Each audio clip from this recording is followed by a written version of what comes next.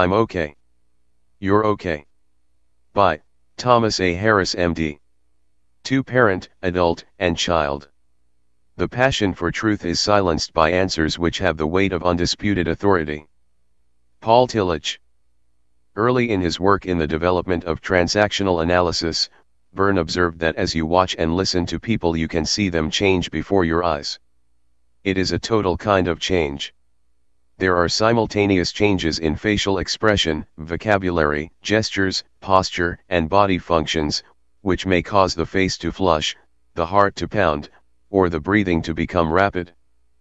We can observe these abrupt changes in everyone, the little boy who bursts into tears when he can't make a toy work, the teenage girl whose woeful face floods with excitement when the phone finally rings, the man who grows pale and trembles when he gets the news of a business failure, the father whose face turns to stone when his son disagrees with him.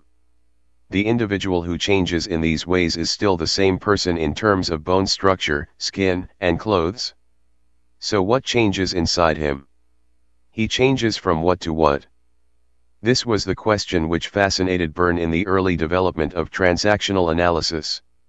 A 35-year-old lawyer, whom he was treating, said, I'm not really a lawyer. I'm just a little boy.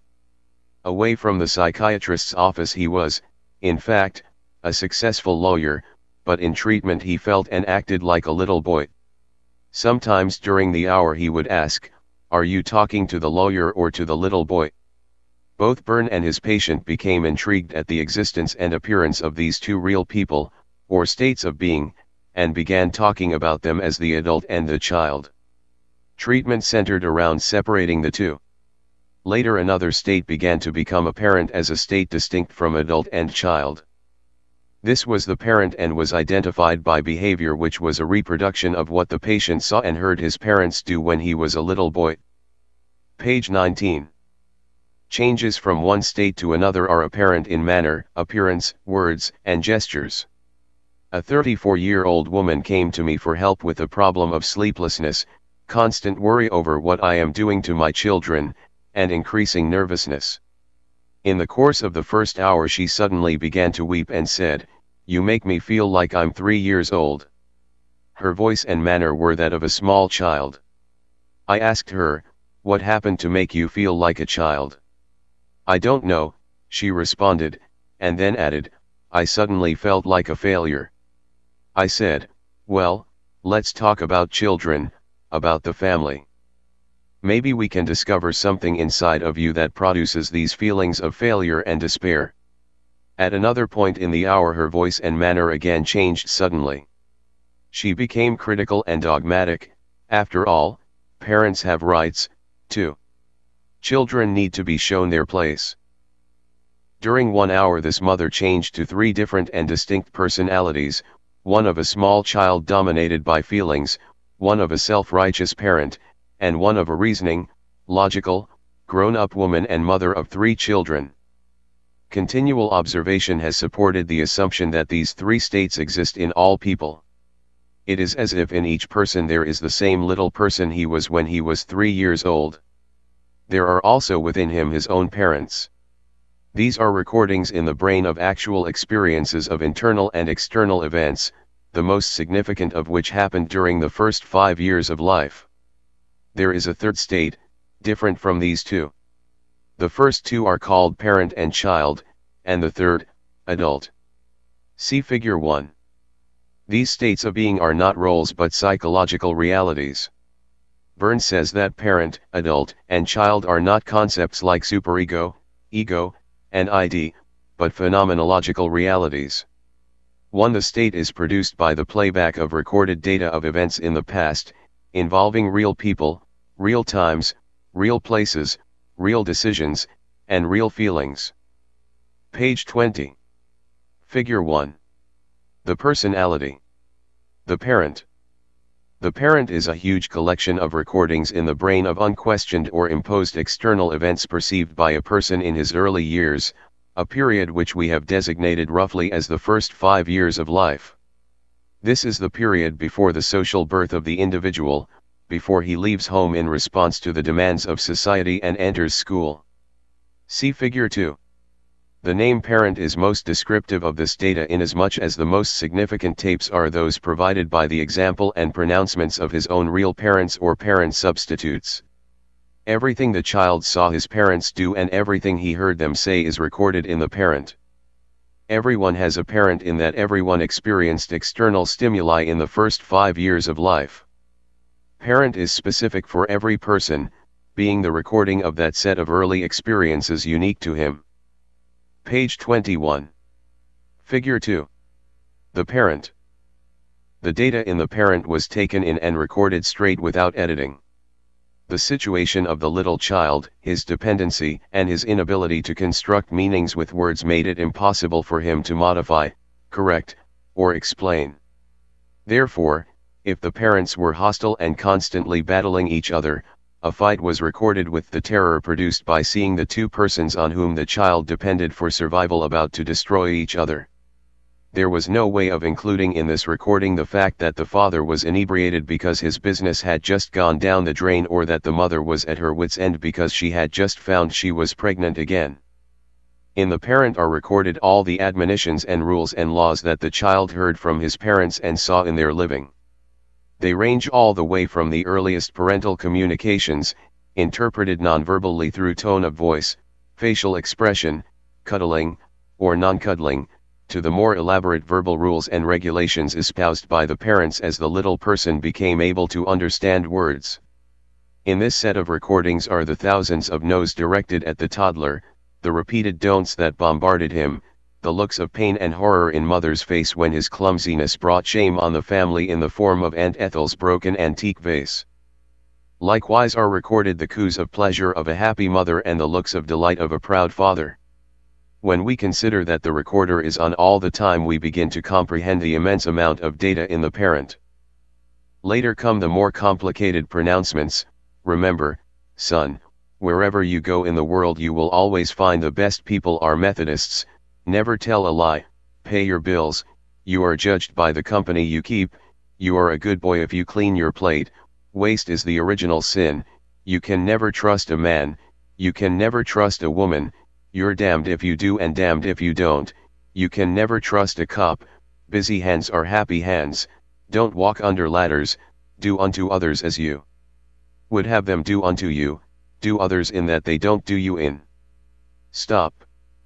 Page 22.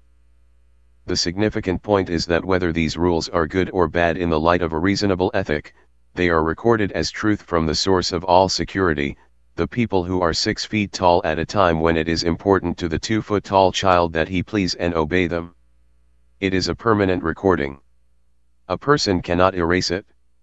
It is available for replay throughout life. This replay is a powerful influence throughout life.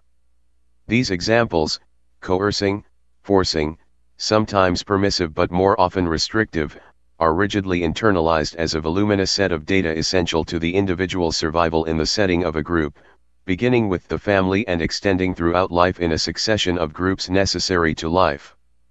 Without a physical parent the child would die. The internal parent also is life-saving, guarding against many dangers which, perceived experientially, could cause death. In the parent is the recording, don't touch that knife. It is a thunderous directive. The threat to the little person, as he sees it, is that his mother will spank him or otherwise show disapproval. The greater threat is that he can cut himself and bleed to death. He cannot perceive this. He does not have adequate data. The recording of parental dictates, then, is an indispensable aid to survival, in both the physical and the social sense. Another characteristic of the parent is the fidelity of the recordings of inconsistency. Parents say one thing and do another. Parents say, don't lie, but tell lies. They tell children that smoking is bad for their health but smoke themselves. They proclaim adherence to a religious ethic but do not live by it. It is not safe for the little child to question this inconsistency, and so he is confused. Because this data causes confusion and fear, he defends himself by turning off the recording. We think of the parent predominantly as the recordings of the transactions between the child's two parents. It may be helpful to consider the recordings of parent data as somewhat like the recording of stereophonic sound. There are two sound tracks that, if harmonious, produce a beautiful effect when played together. If they are not harmonious, the effect is unpleasant and the recording is put aside and played very little, if at all. This is what happens when the parent contains discordant material. The parent is repressed or, in the extreme, blocked out altogether. Mother may have been a good mother and father may have been bad, or vice versa. There is much useful data which is stored as a result of the transmission of good material from one parent, but since the parent does contain material from the other parent that is contradictory and productive of anxiety, the parent as a whole is weakened or fragmented. Parent data that is discordant is not allowed to be a strong positive influence in the person's life. Another way to describe this phenomenon is to compare it with the algebraic equation, a plus times a minus equals a minus. It does not matter how big the plus was, or how little the minus was. The result is always a minus, a weakened, disintegrated parent. The effect in later life may be ambivalence, discord, and despair, for the person, that is, who is not free to examine the parent. Page 23. Much parent data appears in current living in the how to category, how to hit a nail, how to make a bed, how to eat soup, how to blow your nose, how to thank the hostess, how to shake hands, how to pretend no one's at home, how to fold the bath towels, or how to dress the Christmas tree. The how to comprises a vast body of data acquired by watching the parents.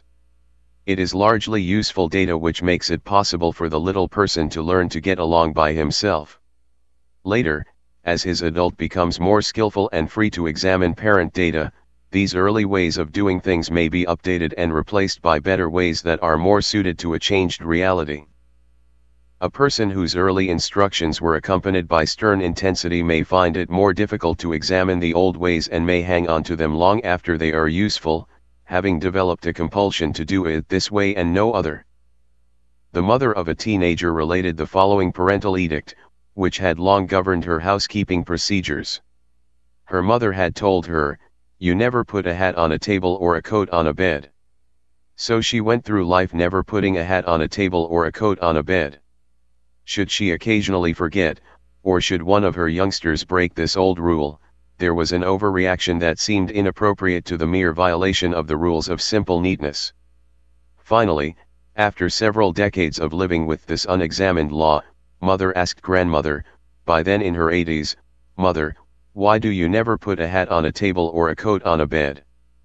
Grandmother replied that when she was little there had been some neighbor children who were infested, and her mother had warned her that it was important that they never put the neighbor children's hats on the table or their coats on the bed. Reasonable enough. The urgency of the early admonition was understandable. In terms of Penfield's findings it was also understandable why the recording came on with the original urgency. Many of the rules we live by are like this. Some influences are more subtle. One modern housewife with every up-to-date convenience in her home found she simply did not have any interest in buying a garbage disposal unit. Her husband encouraged her to get one, pointing out all the reasons this would simplify her kitchen procedures. She recognized this but found one excuse after another to postpone going to the appliance store to select one. Her husband finally confronted her with his belief that she was deliberately not getting a garbage disposal. He insisted she tell him why. A bit of reflection caused her to recognize an early impression she had about garbage. Her childhood years were the Depression years of the 1930s. In her home, garbage was carefully saved and fed to the pig, which was butchered at Christmas and provided an important source of food. The dishes were even washed without soap so that the dishwater, with its meager offering of nutrients, could be included in the slops. As a little girl she perceived that garbage was important, and as a grown woman she found it difficult to rush headlong into purchasing a newfangled gadget to dispose of it. She bought the disposal unit and lived happily ever after. Page 24. When we realize that thousands of these simple rules of living are recorded in the brain of every person, we begin to appreciate what a comprehensive vast store of data the parent includes. Many of these edicts are fortified with such additional imperatives as never and always and never forget that and, we may assume, preempt certain primary neuron pathways that supply ready data for today's transactions. These rules are the origins of compulsions and quirks and eccentricities that appear in later behavior. Whether parent data is a burden or a boon depends on how appropriate it is to the present, on whether or not it has been updated by the adult, the function of which we shall discuss in this chapter. There are sources of parent data other than the physical parents. A three-year-old who sits before a television set many hours a day is recording what he sees.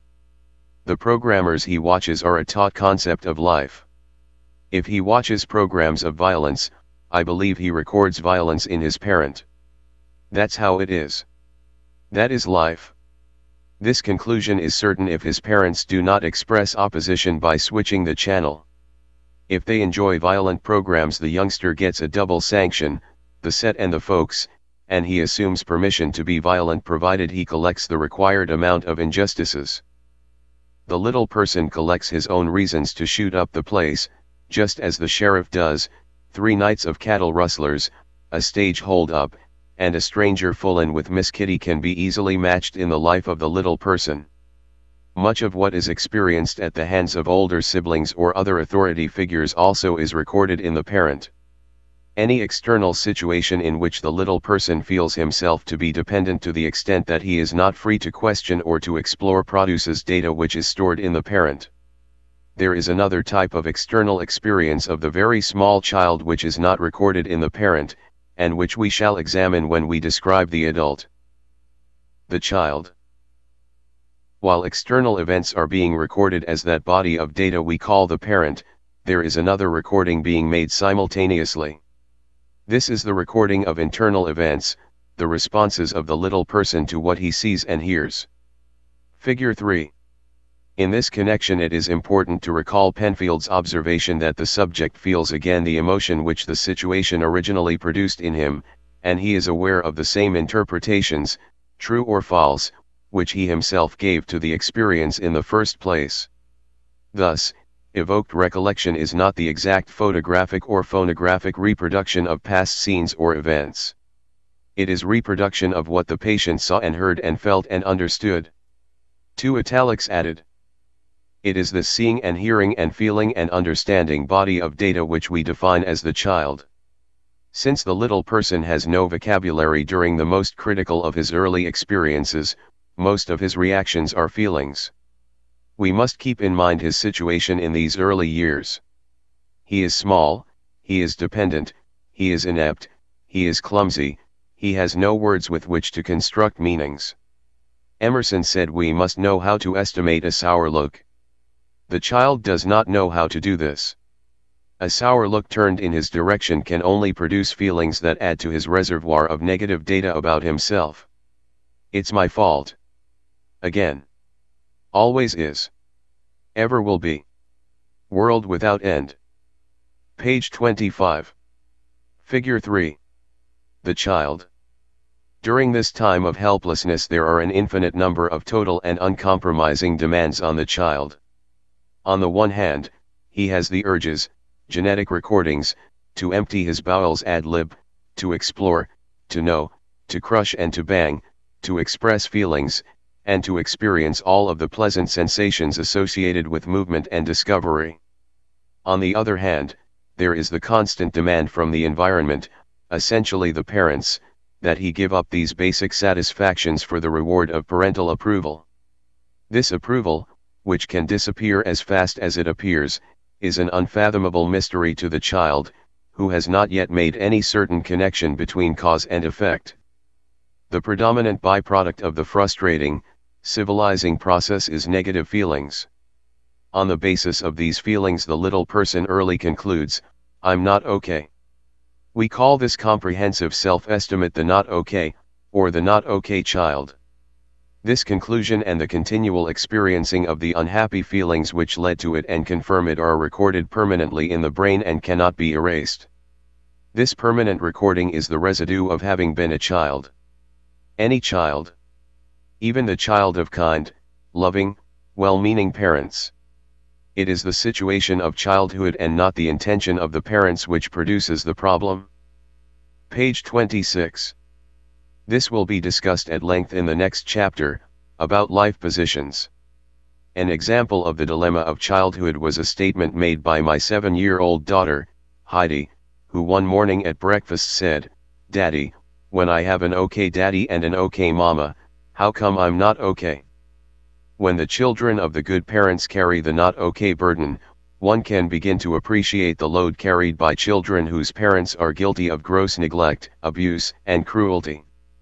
As in the case of the parent, the child is a state into which a person may be transferred at almost any time in his current transactions. There are many things that can happen to us today which recreate the situation of childhood and bring on the same feelings we felt then.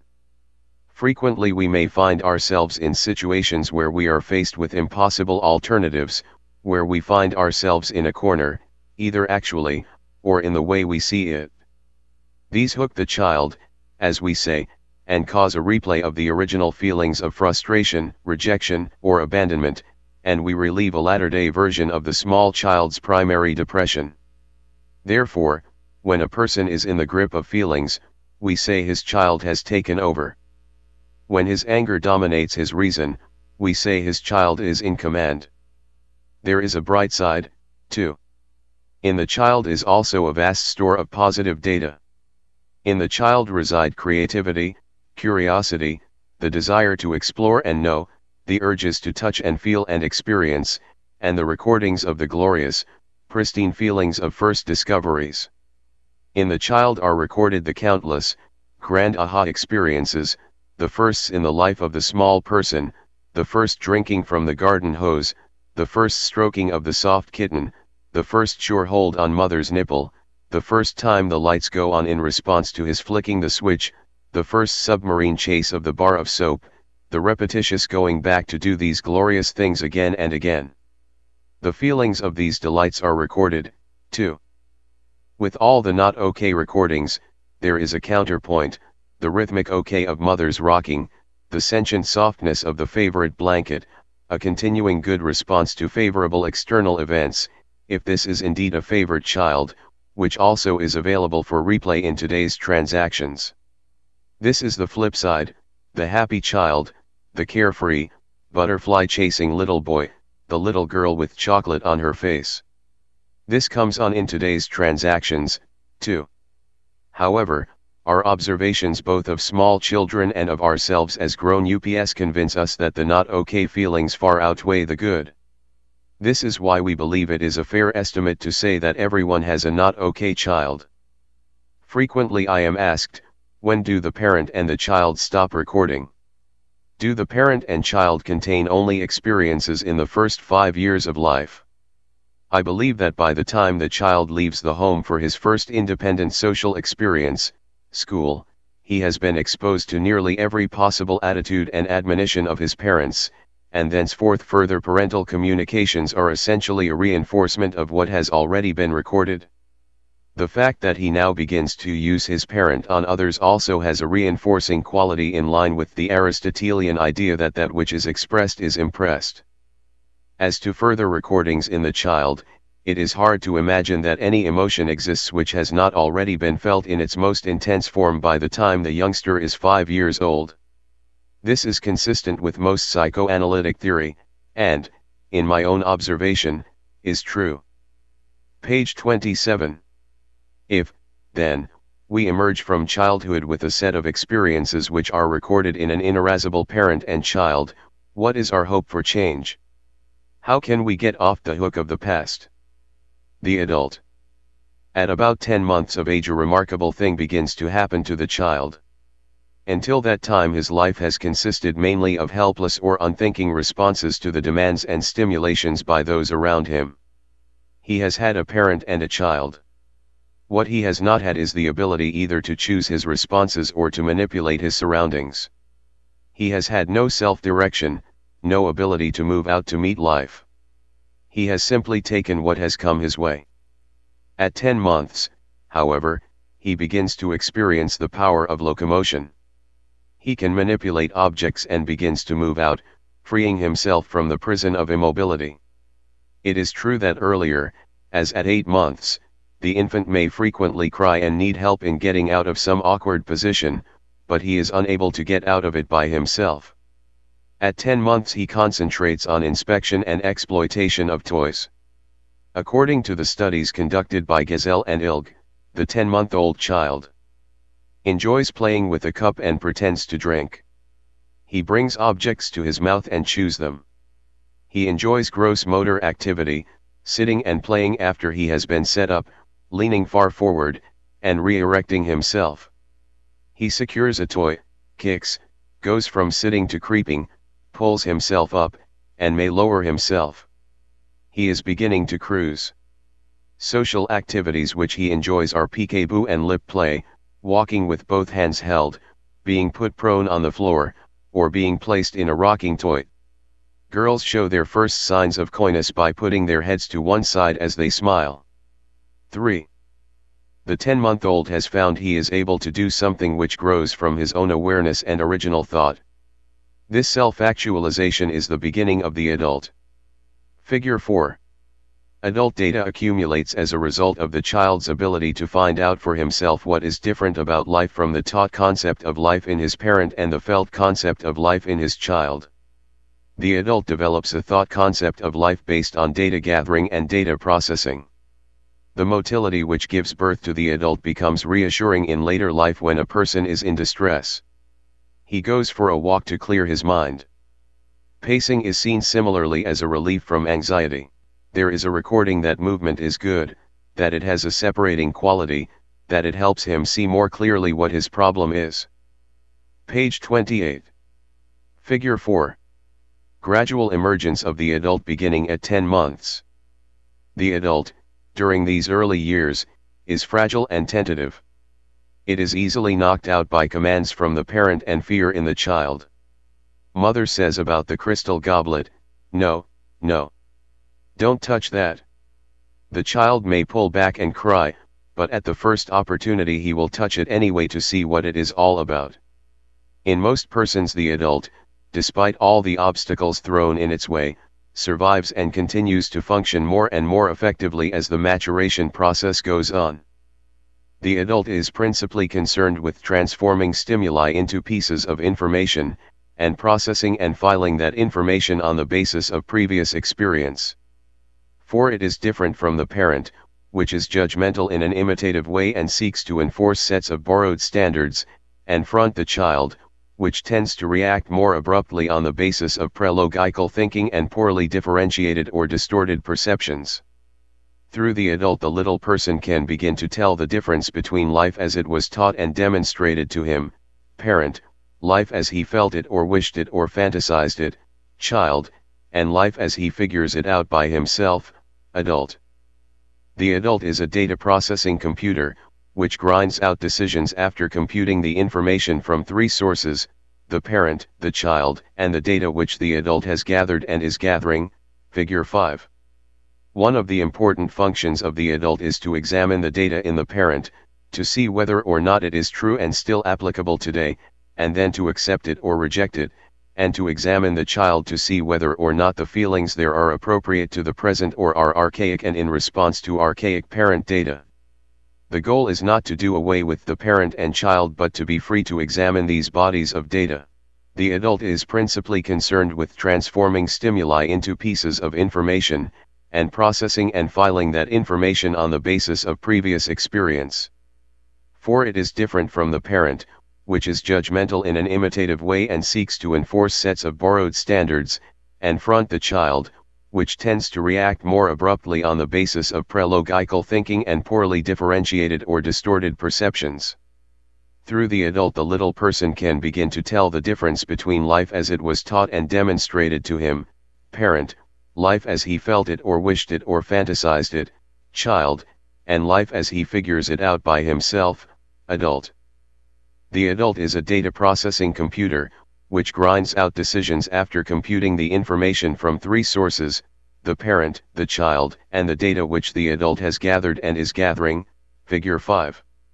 One of the important functions of the adult is to examine the data in the parent, to see whether or not it is true and still applicable today, and then to accept it or reject it, and to examine the child to see whether or not the feelings there are appropriate to the present or are archaic and in response to archaic parent data.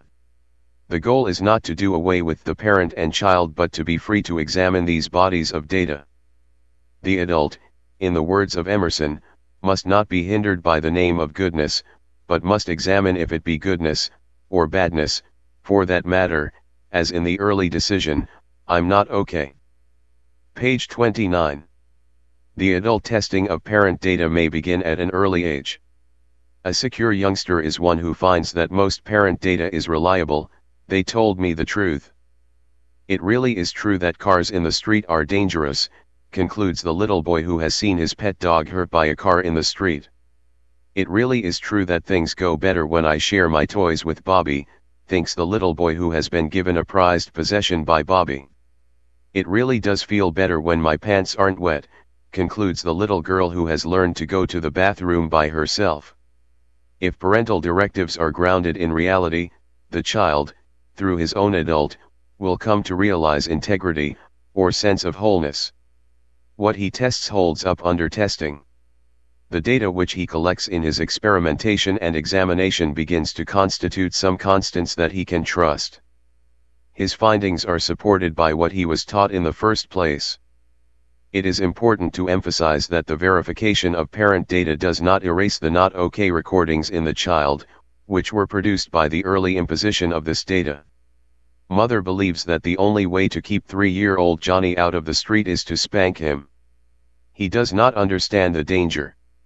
His response is fear, anger, and frustration with no appreciation of the fact that his mother loves him and is protecting his life. The fear, anger, and frustration are recorded. These feelings are not erased by the later understanding that she was right to do what she did, but the understanding of how the original situation of childhood produced so many not okay recordings of this type can free us of their continual replay in the present. We cannot erase the recording, but we can choose to turn it off. Figure 5. The adult gets data from three sources. Page 30. In the same way that the adult updates parent data to determine what is valid and what is not, it updates child data to determine which feelings may be expressed safely. In our society it is considered appropriate for a woman to cry at a wedding, but it is not considered appropriate for that woman to scream at her husband afterwards at the reception. Yet both crying and screaming are emotions in the child. The adult keeps emotional expression appropriate. The adult's function in updating the parent and child is diagrammed in figure 6. The adult within the adult in this figure refers to updated reality data. The evidence once told me space travel was only fantasy, now I know it is reality. Figure 6. The updating function of the adult through reality testing. Another of the adult's functions is probability estimating. This function is slow in developing in the small child and, apparently, for most of us, has a hard time catching up throughout life. The little person is constantly confronted with unpleasant alternatives, either you eat your spinach or you go without ice cream, offering little incentive for examining probabilities. Unexamined probabilities can underlie many of our transactional failures, and unexpected danger signals can cause more adult decay, or delay, than expected ones. There are similarities here to the stock ticker in investment concerns, which may run many hours behind on very active trading days. We sometimes refer to this delay as computer lag, a remedy for which is the old, familiar practice of counting to 10. Page 31. The capacity for probability estimating can be increased by conscious effort. Like a muscle in the body, the adult grows and increases in efficiency through training and use. If the adult is alert to the possibility of trouble, through probability estimating, it can also devise solutions to meet the trouble if and when it comes. Under sufficient stress, however, the adult can be impaired to the point where emotions take over inappropriately. The boundaries between parent, adult, and child are fragile, sometimes indistinct, and vulnerable to those incoming signals which tend to recreate situations we experienced in the helpless, dependent days of childhood. The adult sometimes is flooded by signals of the bad news variety so overwhelming that the adult is reduced to an onlooker in the transaction. An individual in this situation might say, I knew what I was doing was wrong, but I couldn't help myself. Unrealistic, irrational, non-adult responses are seen in a condition referred to as traumatic neurosis. The danger, or bad news signal, hits the parent and the child at the same time it hits the adult. The child responds in the way it originally did, with a feeling of not okay. This may produce all kinds of regressive phenomena. The individual may again feel himself to be a tiny, helpless, dependent child. One of the most primitive of these phenomena is thought blocking. One place this can be seen is in psychiatric hospitals that have a locked door policy. When the door is locked on a new patient, his retreat is rapid and pronounced. This is why I am opposed to treating patients in a setting where the emphasis is on parental care. Catering to the helpless child in the individual delays the reconstructive process of restoring the adult to the executive function. An ideal hospital would be a comfortable motel with play area for the child, surrounding a clinic building devoted to activities designed for achieving autonomy of the adult. The nurses would not wear uniforms or serve as parents to the patients. Instead, nurses in street clothing would apply their skills and training to help each individual learn the identity of his parent, adult, and child. In our treatment groups we use certain colloquial catchphrases such as, why don't you stay in your adult, when a member finds his feelings are taking over. Another of these is, what was the original transaction?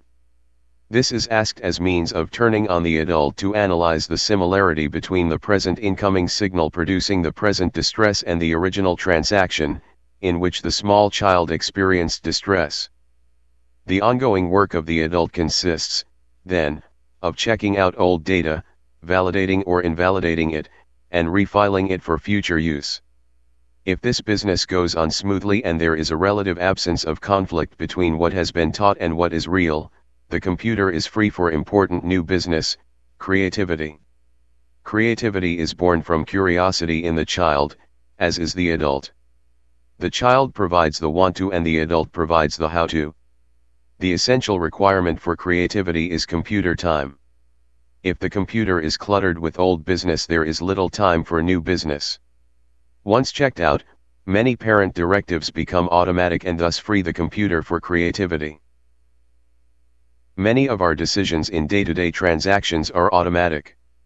For instance, when we see an arrow pointing down a one-way street, we automatically refrain from going the opposite way. We do not involve our computer in lengthy data processing about highway engineering, the traffic death toll, or how signs are painted. Were we to start from scratch in every decision or operate entirely without the data that was supplied by our parents, our computer would rarely have time for the creative process. Page 32. Some people contend that the undisciplined child, unhampered by limits, is more creative than the child whose parents set limits. I do not believe this is true. A youngster has more time to be creative, to explore, invent, take apart, and put together, if he is not wasting time in futile decision making for which he has inadequate data. A little boy has more time to build a snowman if he is not allowed to engage mother in a long hassle about whether or not to wear overshoes. If a child is allowed to be creative by painting the front room walls with shoe polish, he is unprepared for the painful consequences when he does so at the neighbor's house. Painful outcomes do not produce okay feelings. There are other consequences that take time, such as mending in the hospital after a trial and error encounter with a car in the street there is just so much computer time. Conflict uses a great deal. An extremely time-consuming conflict is produced when what parents say is true does not seem to be true to the adult. The most creative individual is the one who discovers that a large part of the content of the parent squares with reality. He can then file away this validated information in the adult, trust it, forget about it, and gets on with other things, like how to make a kite fly, how to build a sand castle, or how to do differential calculus. However, many youngsters are preoccupied much of the time with the conflict between parent data and what they see as reality. Their most troubling problem is that they do not understand why the parent has such a hold on them. When truth comes to knock at the parent's door, the parent says, Come, let us reason together. The little child whose father is in jail and whose mother steals to support him may have a loud recording in his parent, You never trust a cop. So he meets a friendly one. His adult computes all the data about this nice guy, how he gets the ball game started in the sand lot, how he treats the gang to popcorn, how he is friendly, and how he speaks in a quiet voice. For this youngster there is conflict. What he sees as reality is different from what he has been taught. The parent tells him one thing and the adult another. During the period of his actual dependency upon his parents for security, however tenuous the security may be, it is likely he will accept the parent's verdict that cops are bad. This is how prejudice is transmitted. For a little child, it may be safer to believe a lie than to believe his own eyes and ears. The parent so threatens the child, in a continuing internal dialogue, that the adult gives up and stops trying to inquire into areas of conflict. Therefore, cops are bad comes through as truth. This is called contamination of the adult and will be examined in Chapter 6.